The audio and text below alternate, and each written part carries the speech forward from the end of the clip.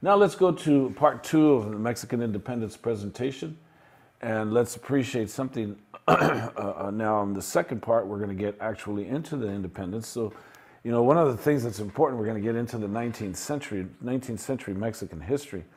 Um, when we look at the 19th century history of Mexico, I mean, it is one that's filled with violence. Mexico and, and Mexicans are not going to know peace between 1810 to 1920. In this 110 year period, uh, where you just count the events, I mean, just take a look at the events and understand the violence that's under, that, that is under, uh, uh, underlying all of these events. One is, of course, Mexican independence. That's going to be a 15 year struggle just to create an independent nation. The other, of course, is going to be the question of the Alamo. And, uh, and, and, then, and then eventually that's going to lead to the Texas question, which eventually is going to lead to the annexation of Texas by the United States, which eventually is going to lead to the U.S. war with Mexico. And then after the U.S. war with Mexico, when Mexico loses half its territory, here comes the French to come to occupy Mexico. So there's the French occupation, and then there's the movement to oust the French, which is going to take a period of four to five years. And then uh, eventually, after the French, with the death of Benito Juarez, going, is going to be the rise of a dictatorship of Porfirio Diaz, who's going to rapidly modernize Mexican society at tremendous human cost. Then it's, it's going to be known as the Porfiriato, which is going to lead to the Mexican Revolution, which eventually is going to result in, in, in millions and millions of deaths in Mexico. So for over 100 years, Mexico and Mexicans are going to experience calamities, uh, setbacks, intense struggles, and most importantly, tremendous territorial loss. So Mexican history is incredibly amazing given the adversity. And every Mexican must understand this 19th century history. The 19th century history of Mexico is very important for any Mexican living in the 21st century. This is our inheritance. It, it behooves every Mexican, every Chicano, to understand what happened in this 19th century history. Every struggle in the Mexican past reveals the dance of good against evil, uh, of anti democratic forces pitted against progressive reform, of the eagle devouring the snake perched on a cactus, classic national symbol. So, where do we begin this journey uh, in, in terms of the independence? Well, we begin it with one particular man. His name is Miguel Hidalgo y Costilla. Here he is, a criollo. This particular man will provide the initial spark for independence. Now remember, the spark for independence comes from Europe because in 1808, Napoleon is going to invade Spain and install his brother Joseph as king, setting off a chain of events that would lead to the breakup of the entire Spanish colonial empire. But it is Miguel Hidalgo y Costilla that is important here. And why? Because he's a Jesuit priest. And uh, he was always involved in economic democracy for his parishioners in Dolores.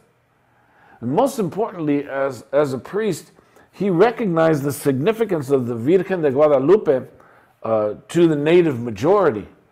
Even though the Criollo consciousness is eventually going to usurp this symbol for themselves, this symbol is a native symbol. This woman, the Virgen de Guadalupe, is a native woman. She is not a European woman.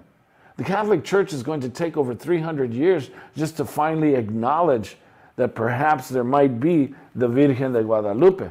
And then, of course, just recently, they beatified the person who introduced uh, uh, the Virgen de Guadalupe. They beatified him as a saint. So the Virgen de Guadalupe to the native peoples has always been a sacred woman. She is the one that, that, that uh, allows native peoples by which to accept the faith of Christianity. And you have to recognize that Christianity is rooted in native traditions, especially with regards to living uh, in a humble, uh, a humble experience. Um, uh, the, so the Virgen, the Virgen is that uh, uh, syncretism, the syncretic adaptation of uh, a syncretism of native beliefs along with European traditions. So, so here we have the Virgen de Guadalupe, a native woman.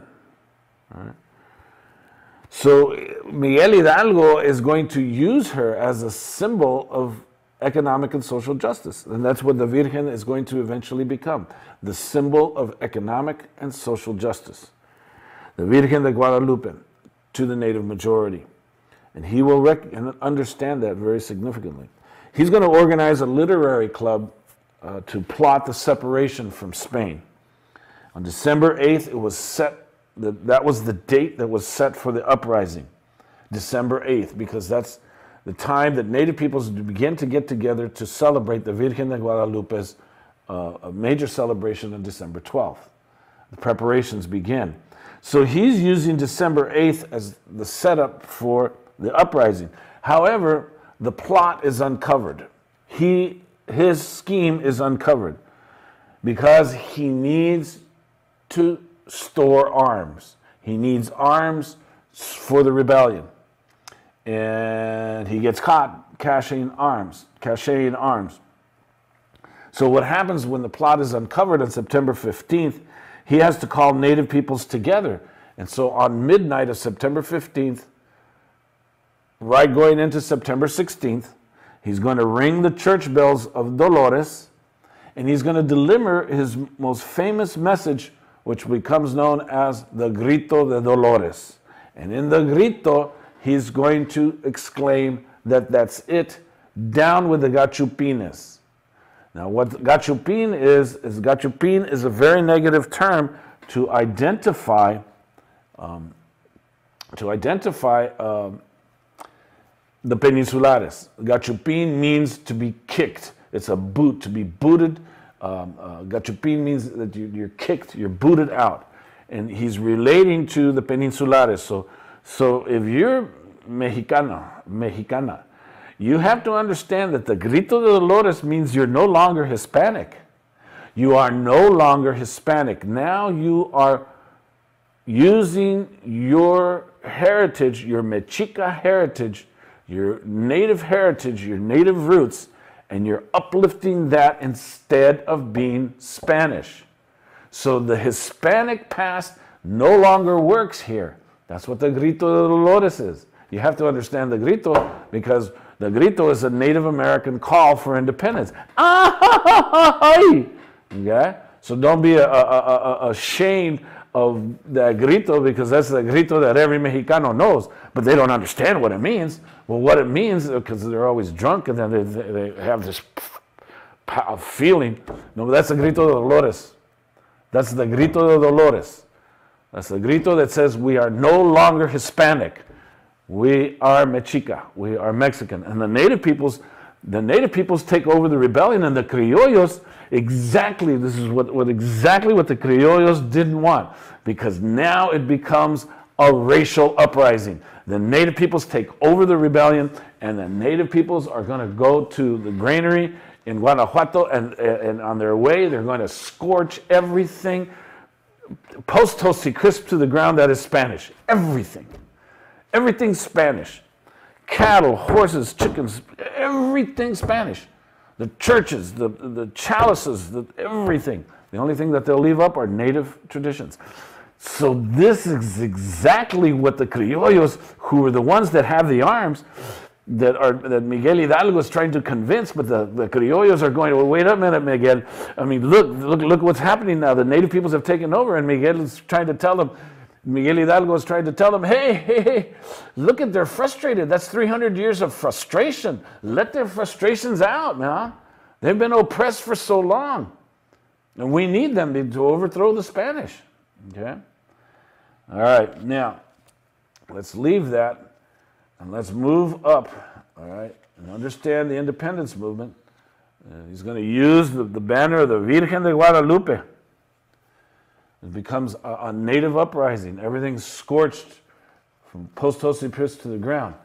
Now, let's move over to Texas because there's certain things brewing in Texas. And let's take a look at a revolt that happens in Texas at about the same time in 1811. All right. Uh, in this revolt, it's very important to understand because uh, the United States is going to play a role in it.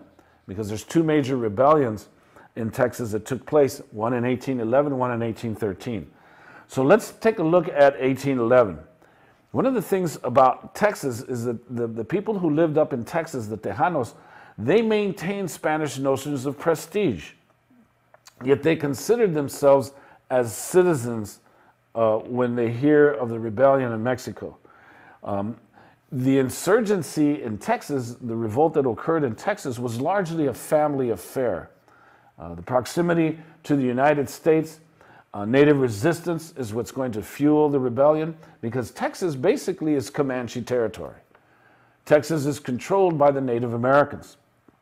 Um, the, the, the, 1811 rebellion consisted of, of Mexican uh, families who were against the crown because the crown had never extended e efforts up there to protect them against native encroachment and against Americans moving west. The 1813 rebellion brought Anglo Americans into the picture in Texas. Uh, on January 22, 1811, um, this retired army officer that was residing along the Rio Grande River Valley will lead what is known as the Insurgent Army of America. His name was Juan Bautista de las Casas. Um, the mayor of Bejar, uh, his name was Francisco Travieso, and then another uh, uh, soldier named Gaspar Flores. Uh, they will assist uh, Casas in taking over San Antonio. Travieso uh, who eventually gets caught, will eventually confess that he participated in the revolt to protect the Tejanos and to deal with the Comanche, because the Comanche were the ones that constantly, uh, I, uh, when you take a look at Native American history, uh, they had effective uh, defensive forces to prevent the usurpation of their lands. So the resistance movement in Texas will link up with a Spanish officer who defected and his name is Mariano Jimenez, who will lead insurgents from San Luis Potosí, Saltillo, and Salt, excuse me, Saltillo and Monclova. Hidalgo, meanwhile, Hidalgo is going to rely on, on Jimenez's base of support because Hidalgo is going to make a mistake, uh, uh, Miguel Hidalgo.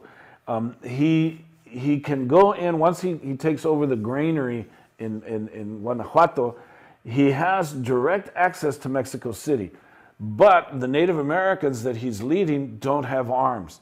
And he does not want to see a massacre, even though he knows that they can take over the government and just end the independence movement right away.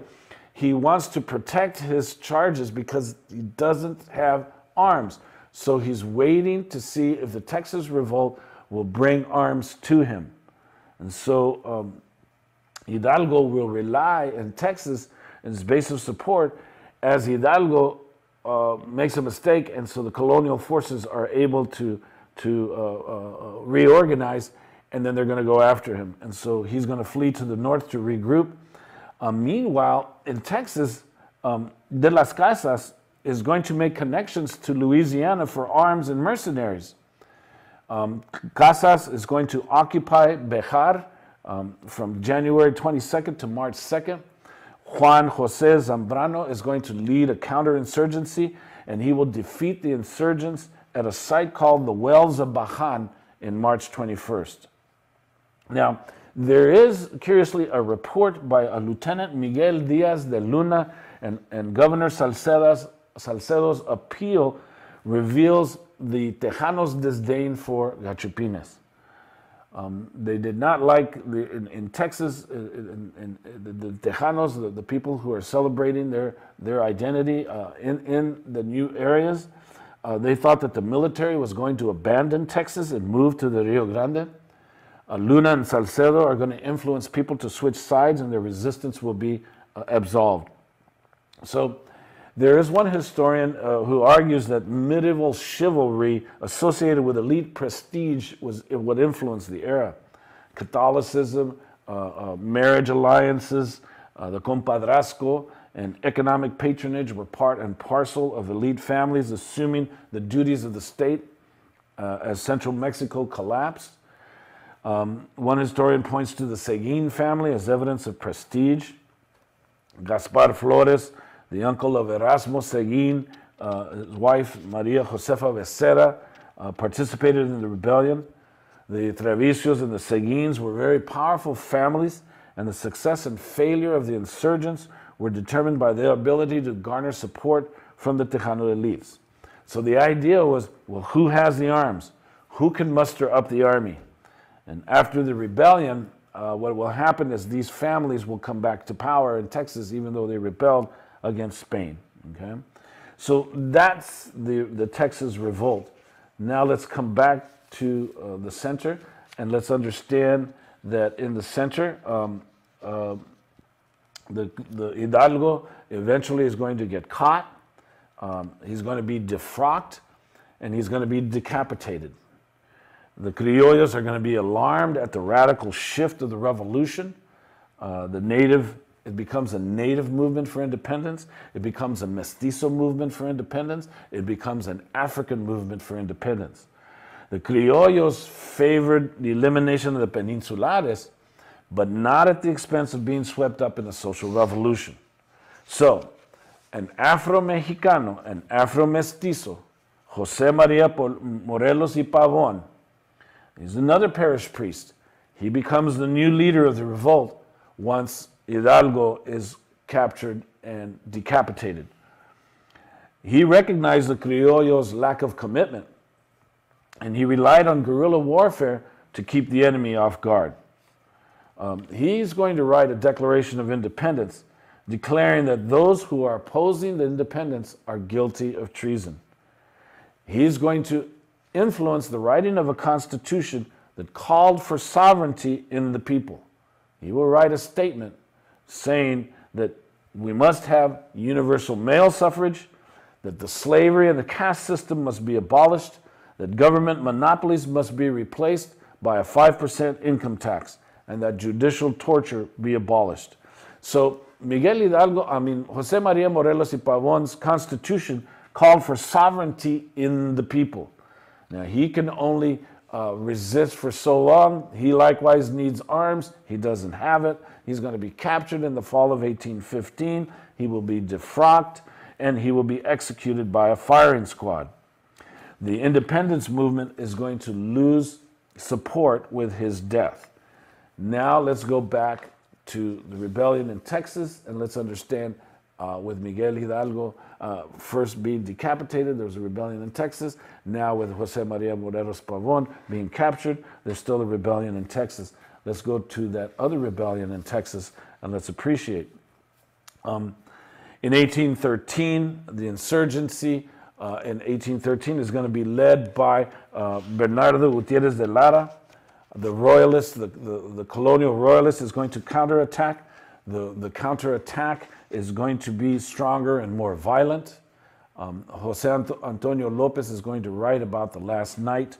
Uh, Bernardo Gutierrez de Lara in a great book about uh, uh, him being a Texas hero.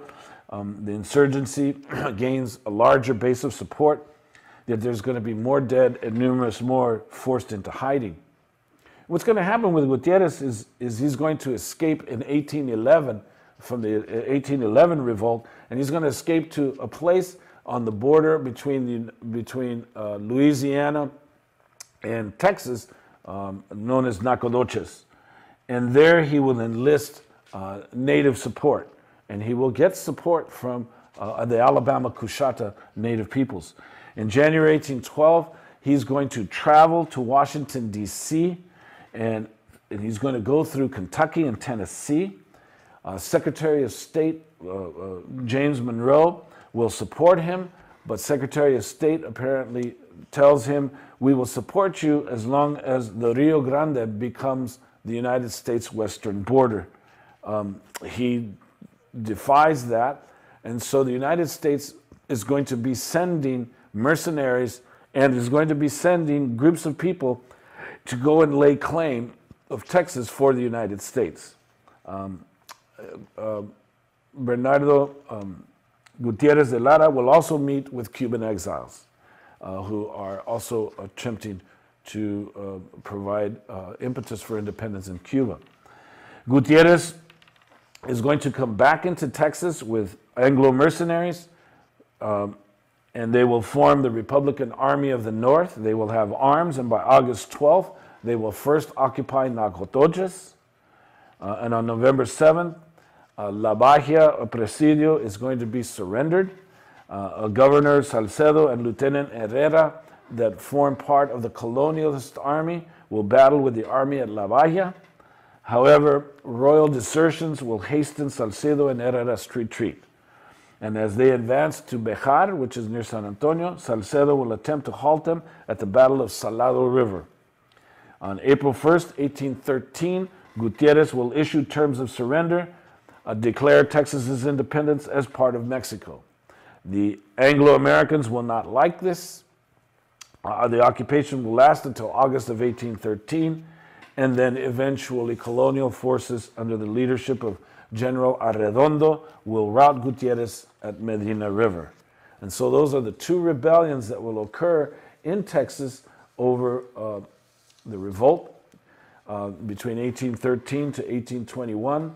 Uh, um, the insurgents will be routed. Um, they'll follow a policy of what will be known as no quarter.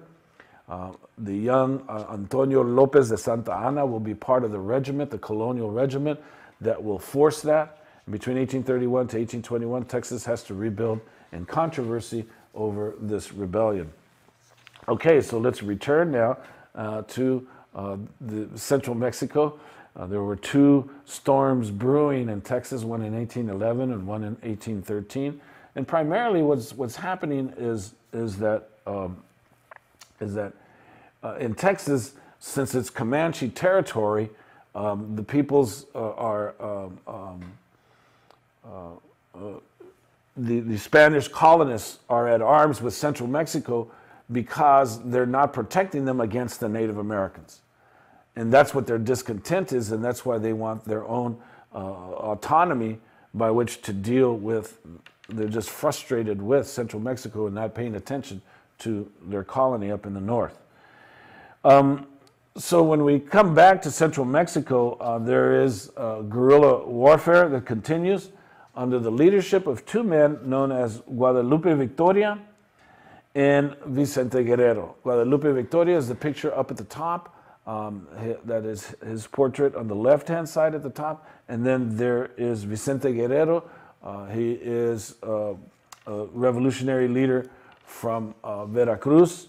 Um, he is important because he is the strongest in terms of guerrilla warfare because he has what is known as El Ejército Moreno, which is the dark army. He has the black army. His army consists of Afro mestizos and negros, and they cannot be defeated. And he controls the Isthmus of Tehuantepec, which is a very important isthmus of Oaxaca uh, uh, and, and, Veracruz. It controls the trade routes uh, between the Pacific Ocean and the Gulf of Mexico. And uh, so he has sufficient resources by which to maintain resistance uh, against uh, a leader who's going to take over the uh, um, uh, Peninsulare uh, against the crown, against who's going to fight for the crown against Hidalgo, against everyone else. His name is Agustin de Iturbide. You see him on the bottom picture, the, um, on the left-hand side of the bottom picture and then eventually his coronation on the right hand side, the bottom picture. As a lieutenant, he was a criollo who fought for the crown against Hidalgo. However, Agustin de Iturbide uh, could not defeat Guerrero. He's going to ask for peace, and in this peace process, um, will, be, will, will occur um, um, uh, the, the Plan de, Iguala. But let me share with you first uh, this plan, um, the Plan de Iguala, which is the one that's going to finally end uh, the, the revolution. Um, what is important to appreciate about this, um, uh, the Plan de Iguala, uh, is that the guerrilla warfare will continue. Agustin Iturbide, the reason why the Plan de Iguala is going to come about is because Ferdinand VII uh, is finally going to be able to oust um, uh, Napoleon's brother from Spain Uh, he's going to restore the crown. And what's going to happen by in, restora- in, the, in the restoration is that Ferdinand VII is going to realize that he needs to give people their rights. And so he orders in the colonies to begin to give criollos uh, their rights um, in, in, the colonies and to begin to allow for greater participation in the political process. So he begins to chip away at Gachupin, uh, at, at the Peninsulares power. Well, this prompts uh, uh, um, Agustin de Iturbide to say, well, wait a minute, here we are. We've been fighting for Gachupin power, and now he's curtailing our power through these, uh, through these reforms in the Constitution. So uh, Agustin de Iturbide decides, hey, wait a minute, let's stop this fighting. And he goes to the persons that he can't defeat. He, he goes to Guerrero, um, to uh, Vicente Guerrero. He can't defeat him. And so he goes, I'll tell you what, let's have peace. And the peace that we have is that we'll become an independent nation. Drop your arms and let's make some guarantees, but let's make me the emperor. I want to be an emperor. I want to control this fiefdom, uh, and we'll give you your guarantees. So the independent Mexican nation is going to be organized as a constitutional monarchy with uh, Agustin de Iturbide being the monarch. The Catholic religion will still be given a monopoly. The clergy will retain all its privileges. But now everyone is to participate equally in the constitutional process. So really the idea becomes, and the plan is save the Gachupin. No longer destroy the Gachupin, but let's save the white privileges. But we'll go ahead and begin to give privileges to people of color. In essence, that's what it is. But um, Vicente Guerrero wants to ensure event that, that, that you must eventually abolish slavery. So he shares with Agustin de, Iturbide shares with Vicente Guerrero that yes, we will take steps to eventually abolish slavery. So, very conveniently, um, Agustin de Iturbide becomes Emperor of Mexico. This is a, a, convenient plan. Agustin uh, is, is significant in this particular experience because uh, Agustin de Iturbide is significant because he will make sure that Mexico will become independent from Spain, and so he's given that credit and honor. However, he's a monarch. And so, as a monarch, he assumes the throne as emperor with all the pomp and ceremony. So, with the empire, Mexico as an empire, um, it was huge.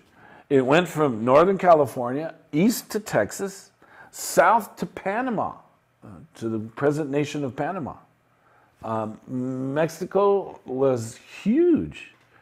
And what's going to happen is that in this attempt, um, the, uh, he has to put down independence rebellions because the Central American states, they don't agree with Mexico that they're part of Mexico. So the Central American states are going to organize as a rebellion and they want their independence from Mexico. They're not participating in, in the Mexican struggle. They're wanting their own autonomy. So the Central American states of Honduras, El Salvador, Costa Rica organize. Um, Agustin de Iturbide is going to have to appoint Antonio Lopez de Santa Anna as commander of the port city of Veracruz to defend the interests. The boundaries between the empire and the United States were never clearly drawn. Um, President Monroe uh, does not want to deal or negotiate with an emperor, but with a Republican government. The war for independence uh, devastated rich agricultural mining regions in the center. And the average citizen is going to feel the impact of this rebellion. Soldiers and bureaucrats become uneasy. Iturbide reacts. Uh, he suppresses freedom of speech. He arrests critics. And uh, eventually, uh, Agustin de Iturbide will be ousted. Um, let's go to a film clip that will end this segment of Mexican independence let's go and appreciate um, the bicentennial uh, celebration of 200 years of independence uh, in Mexico that occurred in 2010 um, because the, the, September 16th, El Grito de Dolores, uh, was shouted on uh, uh, September 16th, 1810. So in 2010, Mexico celebrated 200 years. So let's end this segment with an appreciation for the Mexican independence movement. It all began with a call, with Miguel Hidalgo y Costilla urging on the people of New Spain to fight for their independence. But history unfolds for a reason. Several events in Europe and America lead up to Father Hidalgo's call. The winds of freedom are sweeping through the world. A war of independence is being fought in the United States to free itself of England. And the French Revolution seeks to cast off the tyranny of the king. These wars reaffirm the right of all people to fight for their freedom, for equality, and the right to elect their own governments. In 1808, Napoleon Bonaparte invades Spain and takes Charles IV and King Ferdinand VII as prisoners. This unleashes a war against the French and brings instability to the Spanish colonies. At this time, New Spain is the Spanish Empire's most prosperous territory, but its wealth benefits the Spanish crown more than it benefits the colony itself, which angers those who live there. Several clandestine groups form to begin the independence movement. One of these conspiracies sets off the war. The meetings of Miguel Hidalgo, Ignacio Allende, Juan Aldama, and Josefa Ortiz de Dominguez in Querétaro are discovered. Hidalgo goes to the church in the town of Dolores and calls on the people to overthrow the government of New Spain. With a standard of the Virgin of Guadalupe as their flag, the rebels win their first victories over the troops loyal to the king, which are defeated in the bloody battle at the public granary, the Alhóndiga de Granaditas in Guanajuato. The rebels are unstoppable on their march to Mexico City, but after the Battle of Monte de las Cruces on the outskirts of the capital, Hidalgo decides to retreat despite his victory there. The independence forces occupy Guadalajara. There, they try to organize a government. They start a newspaper, El Despertador Americano, and they proclaim the abolition of slavery. But royalist forces under the command of Felix Maria Calleja follow in close pursuit. The two armies engage in combat outside of Guadalajara in the Battle of Calderon Bridge, where the rebels suffer their worst defeat. Fleeing north, Hidalgo, Allende, Mariano Jimenez, and Juan Aldama are ambushed and taken prisoners in Acatita de Bajan, Coahuila. Later, they are tried and executed in Chihuahua. After the death of Hidalgo, another parish priest takes command, Jose Maria Morelos y Pavon. The high point of his military career is breaking the siege of Cuautla, where 7,000 of Calleja's troops had kept Morelos and 3,000 rebels under siege for 72 days. In addition to his military genius, Morelos is a visionary who seeks to provide the new country with a political organization.